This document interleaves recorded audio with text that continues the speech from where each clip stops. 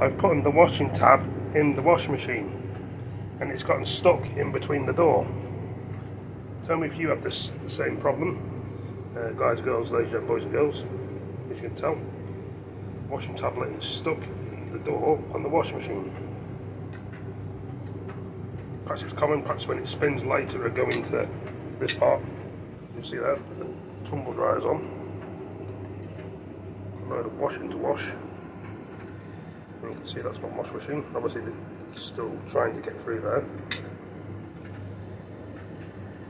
Just one of those things, if you overload it, it probably happens like that. Like I say, hopefully, fingers crossed it'll be okay again. Sell some Ahoy crisps, licorice cough sweets, easy cough, hmm. and my thing hmm, sticking out the window. Yes, I am looking shift me here. There we go, thanks for ordering